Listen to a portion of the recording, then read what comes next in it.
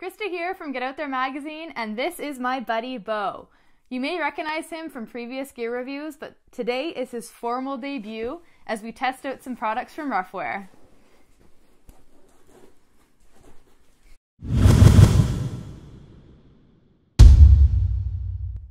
As some background information, Bo is a very active German short haired pointer who loves to run.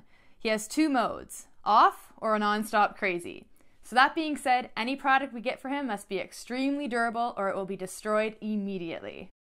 As the days have gotten shorter, I found that whether we are out with him in the morning or at night, it's very dark outside. For safety reasons, we wanted to invest in a good, durable light for Bo. This is when we were introduced to the Beacon Safety Light by Ruffwear.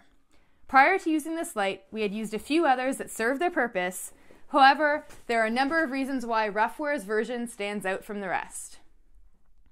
First off, it is easy to use.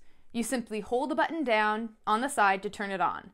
There are then various modes of light intensity and colors to choose from depending on your environment. We found the intensity of the light to be superb, as Bo runs off leash when we hike and likes to run as far as 30 feet from us. That being said, we were still able to pick him out of the bush on darker hikes. Second, this light is rechargeable. You simply attach the USB cord to the light and then to your computer. The light will turn green once it is fully charged. I found the best thing to do is leave the light to recharge overnight. It is hard to say how long the charge holds because the battery life is just that long. We went on about six to eight hour long hikes with Bo, and the battery was still charged. We recharged it preventatively so that it wouldn't run out mid hike. That being said, there is an indicator light that comes on when the battery is low to remind you that it is time for a recharge.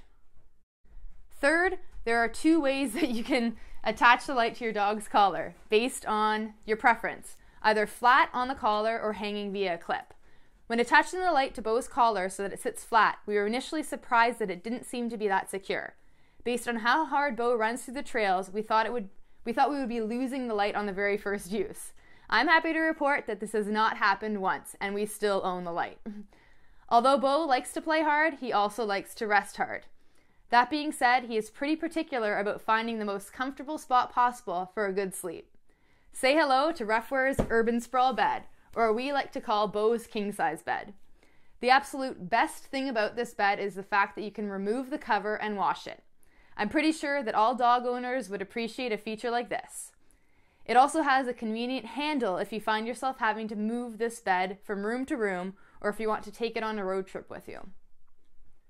In terms of features designed for Bo's comfort, this bed really is like a mattress for him. There are two options on how to use it, depending on the season.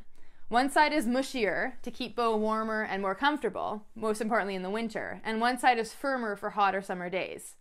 And if your dog is anything like Bo, occasionally he does the run and jump into bed. Ruffwear has thought of everything and have created the underside of the bed with a non skid material. What this means is that Bo won't go flying across the room on his bed. The Urban Sprawl comes in two sizes, medium and large. We purchased, we purchased the large for a 70 pound Bo, and he has plenty of room to stretch out. We probably could have gotten away with a medium size, which would have made it slightly easier for travel, so keep this in mind when choosing your size. Overall, we are very pleased with the durability of both the Beacon safety light and the Urban Sprawl bed. We haven't heard any complaints from Bo either. For more information about either of these products from Ruffwear, please visit their website below.